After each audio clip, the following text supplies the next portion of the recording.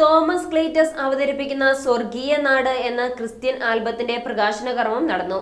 P T Thomas M P പ്രശസ്ത ഗായിക Anu ജോസിന് C ഡിയുടെ ആദ്യ കോപ്പി നൽകി ഉദ്ഘാടനം നിർവഹിച്ചു.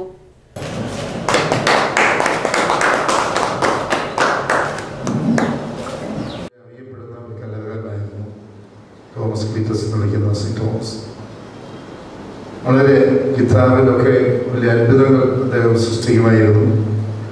അവിടെ കോളേജ് യൂണിയൻ ആർട്സ് സെക്രട്ടറി ഒക്കെ അദ്ദേഹം മത്സരിച്ചിട്ടുണ്ട്. അതുപോലെ നിരവധി കലാപരിപാടികളൊക്കെ അദ്ദേഹം പങ്കെടുത്തിട്ടുണ്ട്.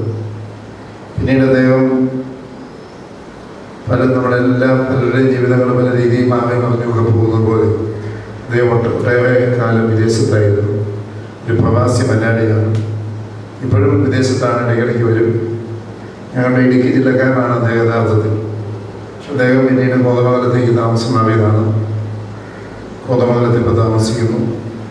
ഞാൻ കോളേജ് വിട്ട ആ കാലം മുതൽ ഇടയ്ക്കിടയ്ക്ക് അദ്ദേഹത്തെ കാണുന്നതാണ്.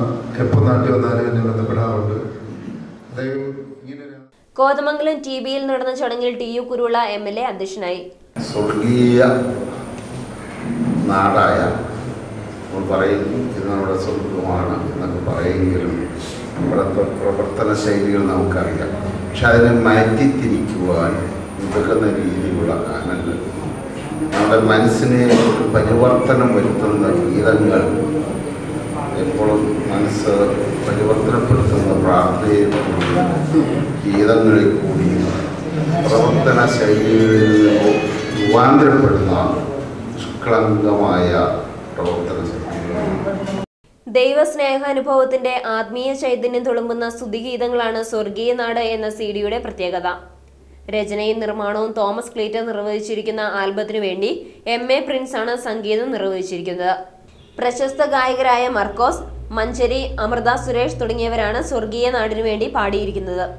കോതമംഗലം രൂപത monsignor reverend father Francis Alappat മുൻ municipal chairman A G George film artist Sabu colonia Kothamangalam merchant association president K A Kuriakose തുടങ്ങിയവർ സംസാരിച്ചു